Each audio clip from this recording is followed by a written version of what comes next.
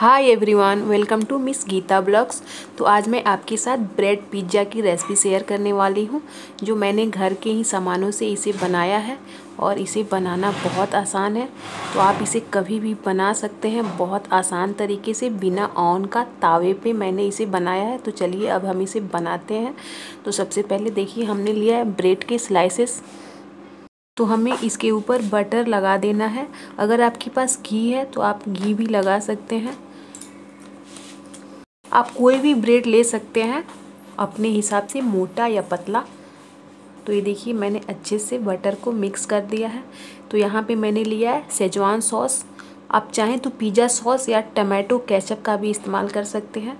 यहाँ पे मैंने लिया है सेजवान सॉस तो देखिए, एकदम अच्छे से हम स्प्रेड कर देंगे दोनों ब्रेड के स्लाइसेस पे।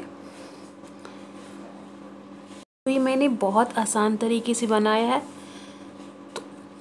यहाँ पे मैंने चीज़ लिया है, वो अब हम इसके ऊपर रख देंगे। आप चाहें तो चीज़ को ग्रेट करके भी डाल सकते हैं। मैंने इसके पीसेस काट लिए हैं। तो अब हम डालेंगे शिमला मिर्च। मैंने ब्रेड पिज्जे पे शिमला मिर्च और टमाटर और प्याज का इस्तेमाल किया है। अगर आप चाहें तो इस पर पनीर या मशरूम कुछ भी आप ऐड कर सकते हैं, अपने पसंदीदा कोई भी चीज़। तो इसे बहुत अच्छे से डेकोरेट करना है ताकि देखने में एकदम मार्केट जैसा लगे। अब हम इसके ऊपर डालेंगे प्याज।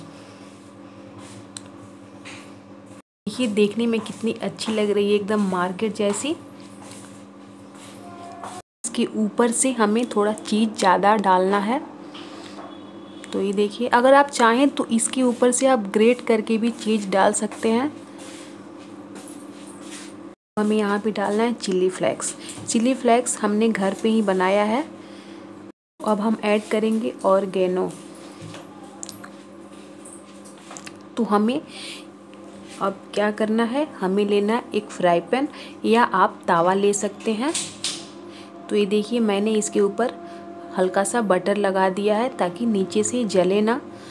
तो अब हम क्या करेंगे? ये ब्रेड पिज़्ज़ा इसके ऊपर रख देंगे. यहाँ पे हमें गैस का फ्लेम लो रखना है।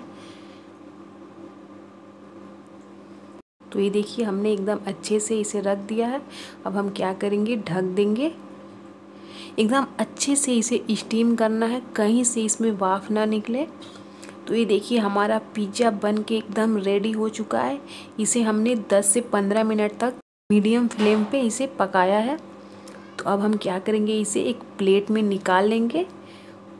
और एकदम हमें इसे गरम गरम ही बच्चों को देना है ताकि बहुत बच्चे खुश हो जाएँ।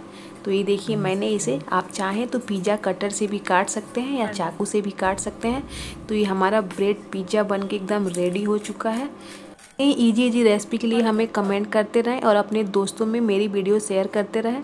तो चलिए गाइस मिलते हैं नेक्स्ट वीडियो में। तब तक के लिए थैंक यू बाय बाय